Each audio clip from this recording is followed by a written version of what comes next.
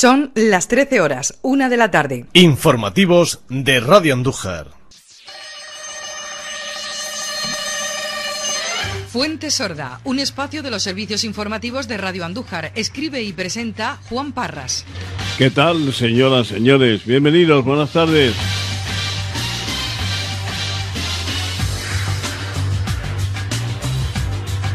El colectivo de jubilados y pensionistas si analizamos exclusivamente las protestas y manifestaciones que mantienen desde hace años, es evidente que no está dispuesto a detenerse en sus legítimas aspiraciones de unas pensiones más justas. Lo de la subida anual de acuerdo con el IPC, que consta por escrito en los documentos firmados por los partidos políticos y que parece que de vez en cuando se olvida intencionadamente, es en principio su objetivo y aseguran que no pararán hasta que lo consigan. Las manifestaciones la van a mantener porque entienden que es un aviso a la clase política en general y al gobierno en particular, dejando claro que sus derechos son inalienables y que lucharán por ellos hasta sus últimas consecuencias. Por el momento, la capacidad de convocatoria que muestran en las calles suponemos que pondrá el vello de punta a los responsables de este área o cuando menos se estarán preocupados y les convencerá de que sus pretensiones, además de legítimas, seguirán pendientes hasta que se les atienda como creen merecer. Como todo el mundo sabe, las pensiones no son otra cosa que la recuperación del dinero que los trabajadores abonaron al Estado en forma de cuota mensual para que, llegado el momento de su jubilación, pudieran vivir con dignidad los años que se mantengan con vida. De ninguna de las maneras podemos aceptar que se trate de un dinero graciable que reciben porque sí, al contrario, es suyo de pleno derecho y nada ni nadie debería ni tan siquiera acercarse a la caja en la que se guarda y menos menoscabarla, extrayendo cantidades millonarias para destinarlas a otros destinos, para enviarlas a otros menesteres, que no otra cosa ha ocurrido y que la ha dejado prácticamente vacía. En cuanto a las cantidades tan diferenciadas que reciben los trabajadores mensualmente, otra de las quejas más compartidas y que no siempre se ajusta a la razón, responde sencillamente a las aportaciones que cada uno de ellos hizo a lo largo de su vida laboral, unos por la propia empresa y otros, los autónomos, de forma voluntaria para encontrar al final de su vida laboral el apoyo económico que sabían necesitarían. Otra cosa es que sea urgente el aumento de las que no alcanzan ni siquiera el sueldo mínimo interprofesional y el de las viudas, que son los dos sectores que sufren con mayor intensidad la escasez económica de sus pensiones que salgan a la calle, que se citen semanalmente en plazas y avenidas de las ciudades, que muestren su rechazo a las actuales políticas sobre las pensiones, es lo menos que podemos esperar de un colectivo que se vio la obligación de salir a la calle a reclamar sus derechos en los años 60 y que ahora, llegado el momento de disfrutar de su merecido descanso, se reencuentren con sus compañeros de entonces exigiendo justicia para eso, para su actual problema.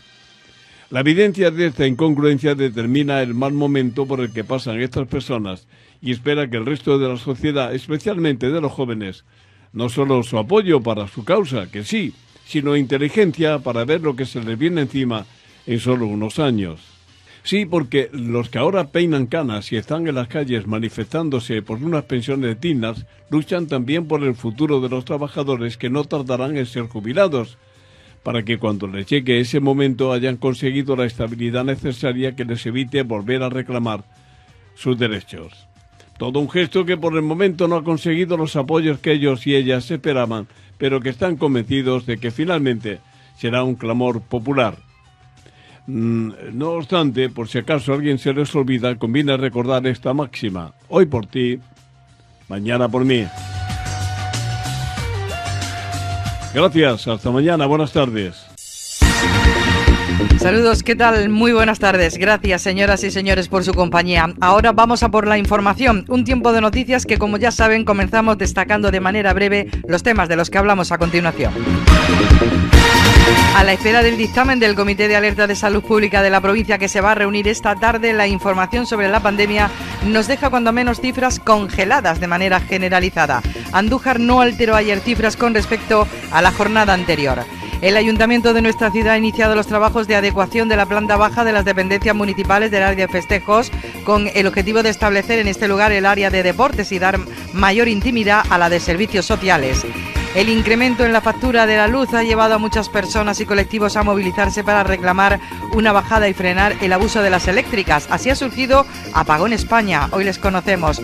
El ayuntamiento de nuestra ciudad lamenta el malestar generado por el último comunicado de comisiones obreras en el que se hace referencia a una crítica situación del cuerpo de la policía local. El Pleno de la Corporación Municipal celebra mañana una sesión ordinaria, la del mes, que como novedad tiene que vuelve a celebrarse en la sala de sesiones del ayuntamiento. Durante mucho tiempo y por el COVID se ha estado celebrando en el Salón de Actos de la Casa de Cultura. Junto a otras noticias más breves repasamos la agenda del día.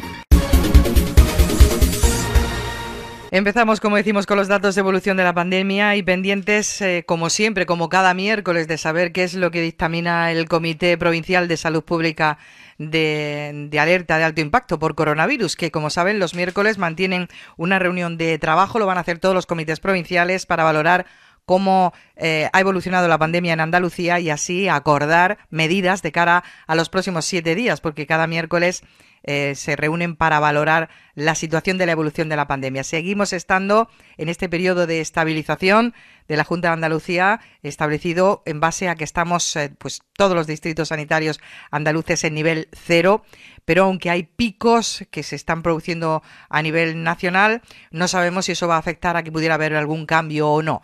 En principio, pendientes vamos a estar. Las cifras al día de ayer, como les decíamos en términos generales, nos deja una congelación en cuanto a incidencia, salvo esa disminución de décimas que prácticamente es inapreciable en la provincia de Jaén en cuanto al acumulado de los últimos 14 días, que ha bajado 8 décimas de 29,9 a 29,1.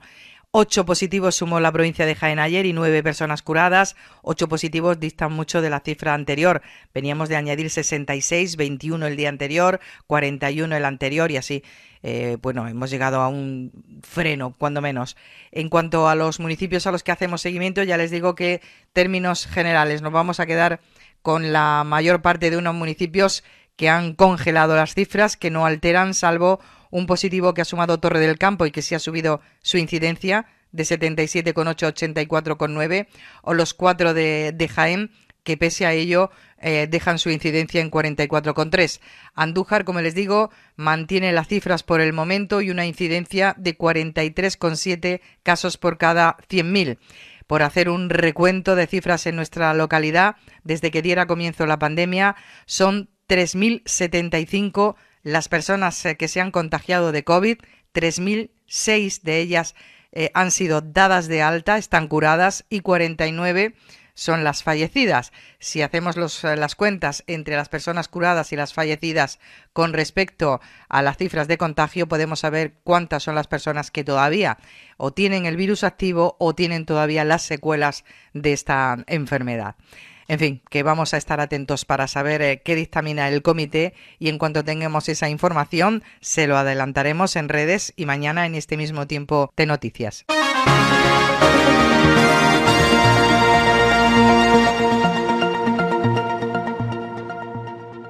El ayuntamiento de nuestra ciudad ha iniciado los trabajos de adecuación de la planta baja de las dependencias municipales del área de festejos, ubicada en calle La Feria, con el objetivo de establecer en este lugar el área de deportes. La actuación va a independizar ambos servicios municipales, destinando la planta inferior al área de deportes, mientras que la primera planta va a seguir dedicada a festejos y sale de esta forma la Concejalía de Deportes de las instalaciones que compartía con la Concejalía de Bienestar Social.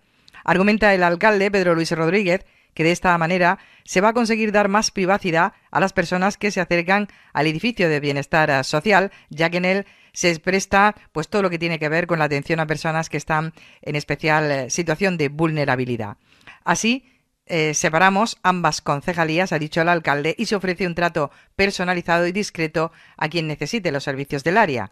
Enmarcadas en los planes provinciales de este año, las obras cuentan con un presupuesto confinanciado de algo más de 55.700 eh, euros, del que la Diputación Provincial aporta el 76% y el 24 restante el ayuntamiento, obras cuya finalización está prevista eh, que concluyan en diciembre. Por otra parte, con esta actuación entiende el consistorio que se ha dado a la Concejalía de Deportes, bueno, pues una importancia acorde a la cantidad de personas que practican actividad deportiva en Andújar y que eh, además hay muchos clubes, asociaciones y deportistas que merecen unas instalaciones dignas. Noticia de la que también nos ocupamos hoy en este espacio de noticias tiene que ver con Apagón España. ¿Qué es Apagón España? Pues está en sintonía con la noticia de la que todos estamos hablando, el incremento en la factura de la luz, la subida en el precio de la luz que ha llevado a la ciudadanía a movilizarse y aprovechando las redes surge una plataforma Apagón España, de la que hoy sabemos más, junto a Mari Carmen Barbalán, que es la portavoz de esta plataforma a nivel provincial y que surge concretamente en la provincia, en Marmolejo. Ella nos lo cuenta. Pues así es, mira, todo comenzó aquí en Marmolejo, eh, pues mm, se me ocurrió la idea de publicar en redes sociales, en diferentes grupos donde sabía que había mucha afluencia de, de gente, donde se podía hacer eco a nivel mm, grande, ¿no? De la noticia. Pues yo decidí en un día publicar, como te digo, y decidí que todo el mundo me apoyara y durante cinco minutos, de 8 a 8 y 5, bajáramos los plomos de casa. Con esto, ¿qué se consigue? Pues se conseguía eh, que el consumo en los hogares durante este periodo de tiempo fuera cero. Eh, esto se hizo durante todo el mes de septiembre y bueno, se, hicieron eco de, la noticia diferentes emisoras de radio, de televisión, eh, se ha conocido a nivel nacional y de ahí fue donde se pusieron en contacto con Marmolejo, con el ayuntamiento en concreto, el grupo Apagón España. Un grupo que se creó en Carmona y que, bueno, creó un comerciante de Carmona que se llama Miguel Pastrana y que independientemente de lo que yo estaba haciendo en Marmolejo, él también ya lo estaba haciendo en Carmona. Pues lo que decidimos es unir fuerzas. Marmolejo se unió por completo a este, a este grupo de Facebook que se llama, como vuelvo a repetir, Apagón España, y desde esa fecha pues trabajamos juntos. Lo hacemos todos los días de 8 a 8 y 5, 5 minutos bajando los plomos de la luz. El grupo ya tiene unos 30.000 componentes de toda España y todos pues con un mismo objetivo, como digo, es el que el consumo en los hogares durante este periodo de tiempo sea cero. Con esto que queremos conseguir, pues que, las eléctricas tengan una con esta acción que nosotros hacemos, ellos tengan una repercusión, repercute en, en, el, en, el, en la generación de lo que generan en ese momento de energía. Entonces, pues lo que queremos hacer es que esta noticia siga haciéndose eco y que todas las emisoras sigan apoyándonos y que cuanta más gente se una, muchísimo mejor. Porque como digo, la factura de la luz ya nos afecta a todos. Eso es algo que tenemos muy claro. Y que además no solamente la factura de la luz, sino que tenemos que tener en cuenta que esto nos afecta no directamente, sino también indirectamente. Porque como tú bien has dicho, pues también se ven afectados diferentes comercios, diferentes empresas que tienen que generar un producto, que tienen que producir ese producto, y si ese producto con la subida de la luz se ve elevado, esto también se refleja en nuestra fecha de la compra. Luego entonces, esta subida de la luz nos afecta a todos, miremos por donde lo miremos. Desde luego, hay industrias que han eh, bueno detenido eh, la, fabricación de sus productos hasta final de año, por ejemplo, porque la factura se le ha disparado. Eh, ¿Vosotros tenéis algún tipo de, estudio hecho de seguimiento de la noticia a través de los del cual se pueda saber qué perjuicio se le puede hacer a las eléctricas? Porque de alguna manera eso es lo que buscáis, ¿no? Que, que miren, que reflexionen lo que está pasando. Claro, yo en un principio cuando, cuando se me ocurrió esta idea, lo que hice fue informarme un poco de cómo se podría hacer para que las eléctricas sufrieran pues, pues algo que nosotros mismos que ellos no están haciendo, que, que nuestra factura se vea elevada, cómo castigarlo de alguna manera y cómo hacerlo. Entonces estuve preguntando a gente que estaba informada y pues me dijeron eso, que el, el que en cinco minutos se bajaran los plomos de la luz sí que es cierto que le repercute más que si lo hiciéramos durante 30 minutos. ¿El por qué? Pues porque eh, la luz no se puede guardar en ningún sitio. Esa, esa luz que generan la eléctrica, una vez que ellos se hacen con esa luz, esa luz no se puede guardar. ¿Qué ocurre? Que la eléctrica tiene contratado para las 8 de la tarde que se genere, que, van a, que, que, la población va a necesitar X consumo de luz. ¿Qué ocurre? Que si todos bajáramos la luz en ese periodo de tiempo, ese consumo que ellos ya tienen contratado para gastar los ciudadanos se vería decaído, o sea, no existiría, se perdería. No le daría tiempo a, mm, a quitar ese consumo. ¿Me entiendes lo que, no sé no sé explicarme cómo realmente es porque no soy una experta desde luego, pero sí que eh, sería una luz, digamos, sí, una especie de, de como si tuviéramos, vamos a, imaginar que tenemos tres kilos de patatas, ellos prevén que van a que vamos a necesitar uno, lo sacan y una vez que lo han sacado lo pierden porque no puede volver a la cesta. Exactamente, porque la luz no pasa como por, el, por ejemplo el agua. Eh, tú tienes agua y la puedes guardar en un depósito de agua, pero la luz no se puede guardar en ningún sitio. la luz que no se, se genera o se gasta o se pierde. ¿Me entiendes? Entonces, durante, por eso hay muchas veces que dicen una avería de cinco minutos, pues esa avería de cinco minutos puede perjudicar más a la compañía eléctrica o, o puede hacer más daño a cualquier red eléctrica que un apagón de media hora. ¿Me entiendes? Sí porque en ese momento ellos pueden ya prever que ese consumo va a decaer y, lo guardan, no lo generan. Pero cuando es en un periodo de tiempo tan pequeño, ellos no pueden, no pueden eh, prever que ese consumo mm, no les da tiempo, la verdad. Claro. En resumidas cuentas, Mari Carmen, que con esta intervención a través de los micrófonos de Radio Andújar quieres llamar a la atención de, Andújar, de toda la comarca, para que la ciudadanía, o en principio tendrían que ser a través de colectivos, ¿no? Algún colectivo que lidere en cada municipio la unión con Apagón España, como tú has hecho. Claro, eh, realmente esto ya está todo más que estudiado. Nosotros tenemos, como ya te digo, este grupo en Facebook que se llama Apagón España, en el de cualquier punto de, España se pueden unir y lo único que hay que hacer solamente es, un movimiento, bajar los plomos todos los días. Eh, con eso ya estamos haciendo muchísimo más que si nos quedáramos parados. Eh, yo soy portavoz de este grupo aquí en la provincia de Jaén hay diferentes portavoces que se están haciendo eco de la noticia y están moviéndose, pues llamando a radios de, su provincia, radios locales, porque bueno, ya sabemos que esto ha, salido a nivel nacional, pero ahora lo que queremos es que haya, haya pequeños puntos que todavía no se han enterado y que juntos esos puntitos pues podemos hacer que, el, el, grupo resurja de nuevo. Ya te digo, tiene 30.000 componentes y cuantos más se unan y cuanto más hagan este gesto, pues algo muchísimo más conseguiremos. Eso está muy claro. Yo siempre he dicho que, que cualquier pequeño paso que alguien dé junto con otro pequeño paso de otra persona son pasos agigantados que vamos dando. Mm. Eso sin duda alguna, porque el movimiento se demuestra andando y hay gente que está mm, que dice bueno es que cinco minutos esto no esto no esto con esto no hacemos nada no con lo que no hacemos nada es cuando nos sentamos y esperamos que alguien venga a resolvernos un problema que está visto y comprobado que no lo están haciendo por ninguna parte que lo mire.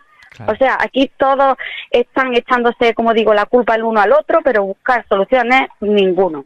¿por qué? porque todos están buscando la silla donde van a sentar su trasero cuando se levante de donde están y a las eléctricas, ¿no? A tener ya un trabajo hasta ni se sabe cuándo. Eh, Mari Carmen, ¿dices que eres la portavoz a nivel provincial también?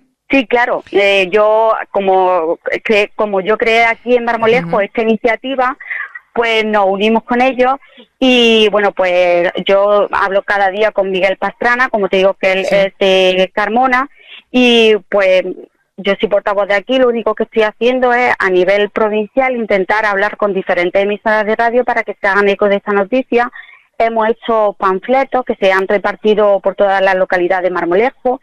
Eh, también pedimos que si hay alguien, alguna librería que quiera apoyarnos y que quiera imprimir esos panfletos, pues nosotros estaríamos encantados. Cuanto más gente lo conozca este grupo, cuanta más gente se una y cuanta más gente haga ese gesto, pues muchísimo mejor. Pues ojalá que así sea, Mari Carmen, y que sean muchas las personas que, que se sumen de la provincia, porque entendemos que, bueno, es una manera de, de hacer todo el mismo gesto y que alguien de las eléctricas diga, oye, que está, que la gente va en serio y que aquí algo vamos a tener que hacer. Esperemos que de verdad así sea. ¿Algo más que quieras añadir? Pues nada, mm, solamente dar las gracias a Radio Andújar por, por, hacer, por hacerse eco de esta noticia, por supuesto, y ya que tengo la oportunidad, invitar a todos a que se unan al Grupo Apagón España y que por favor, que son cinco minutos que en su día perdimos para aplaudir a los sanitarios y que esto nos afecta a todos, que nos movamos un poquito, que solamente son cinco minutos bajar el cuadro principal de la luz y que juntos podemos conseguir algo, que el movimiento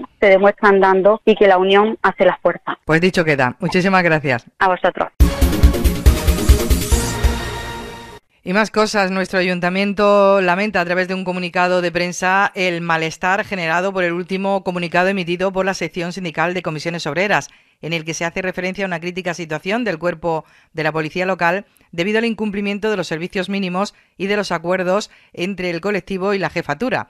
Ante estas acusaciones, en comunicado, como les decimos, de comisiones obreras, que lamentamos eh, no poder reproducir porque no, no se nos ha hecho llegar y lo desconocemos, el consistorio afirma que a lo largo de un año natural la Jefatura de Policía Local planifica un total de 1.095 servicios ordinarios en turnos de trabajo de mañana, tarde y noche, de los cuales no se han desarrollado, por circunstancias sobrevenidas, tres de ellos, que supone el 0,27%.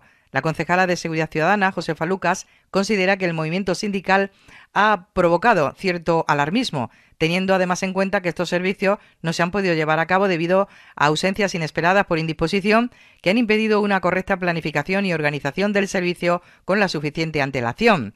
Dice la concejala que, mm, que hay que destacar que para una correcta atención a la ciudadanía no es necesario que aumente el número de efectivos o se distribuyan de una forma u otra. Tan solo es suficiente una actitud positiva, sentido de servicio público y empatía respecto a la ciudadanía.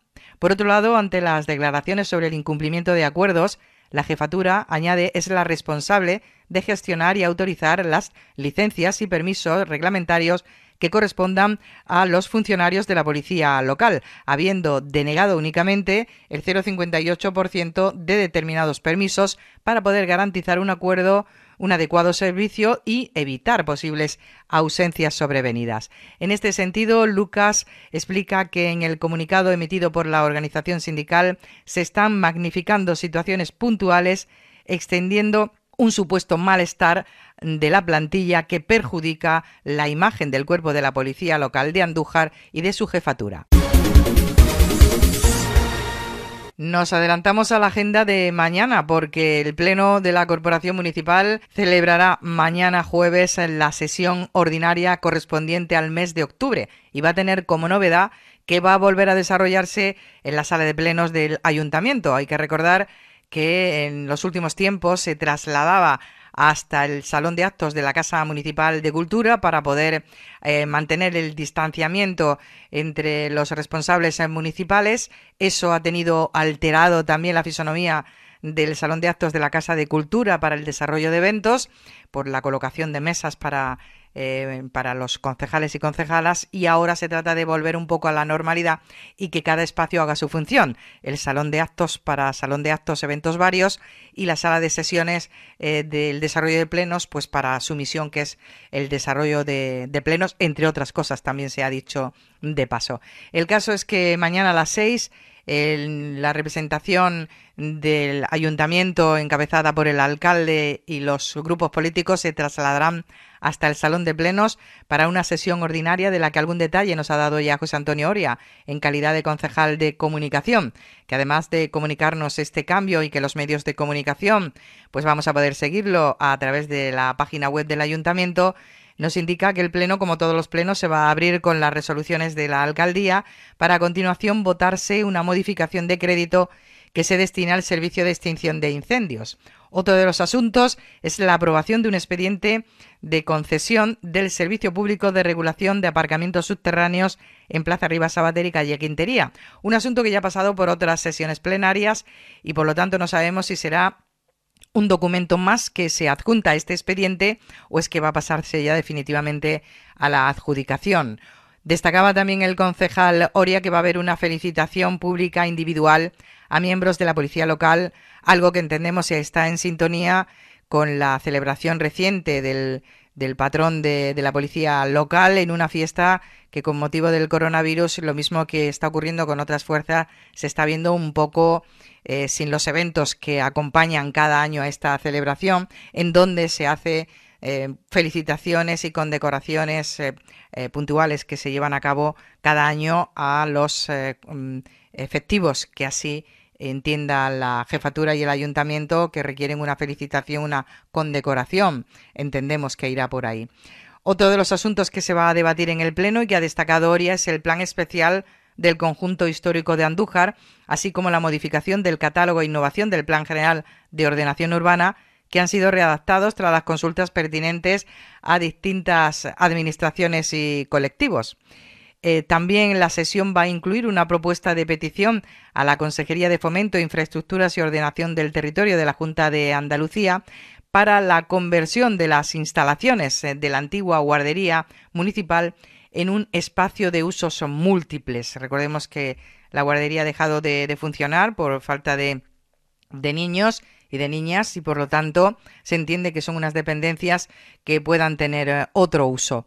En cuanto a las mociones, ya sabemos eh, que Adelante Andújar va a defender eh, a las pensiones dignas, que el PSOE va a instar al Gobierno de España a continuar implementando medidas para conseguir el abaratamiento del precio de la electricidad.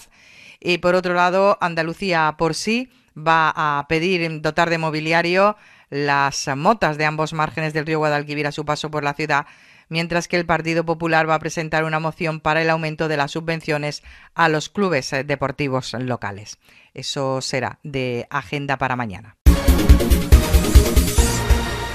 Abríamos el informativo con obras y casi que en la despedida con obras vamos a seguir. En este caso se trata de mejoras que se están acometiendo en las instalaciones deportivas, la colocación del parqué en el pabellón polideportivo municipal, una actuación que colea, si nos permiten la palabra, desde hace muchos años una necesidad importante que tenía el pabellón polideportivo municipal, ya que las sucesivas goteras, eh, aparte del uso, pues hacían que el parque estuviera levantado, se ha ido haciendo arreglos varios de manera puntual, pero ya hacía falta un arreglo integral, cambiarse totalmente y es justamente lo que se está haciendo, respondiendo, así ha dicho el concejal de deportes, a una demanda de los clubes y deportistas de la ciudad.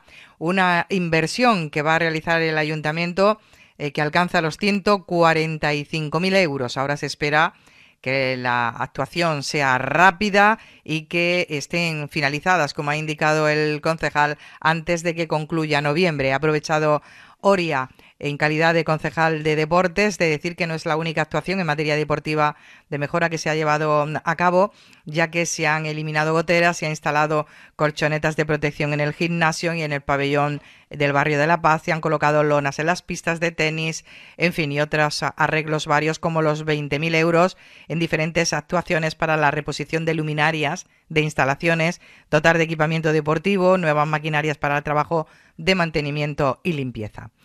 Pues junto a estas mejoras en el pabellón polideportivo, la agenda del día nos deja hoy la intervención de la concejala de Juventud para eh, hacer con los medios de comunicación alguna que otra exposición sobre asuntos relacionados con su área.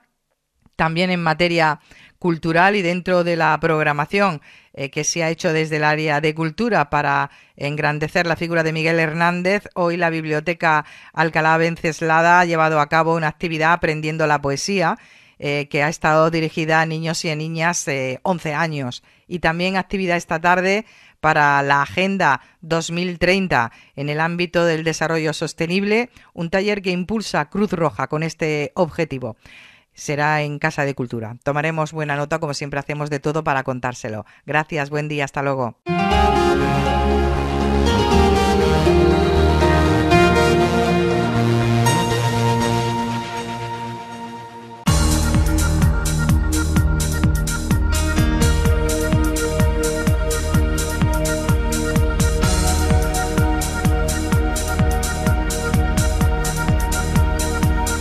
Radio Andújar, profesionales al servicio de la información.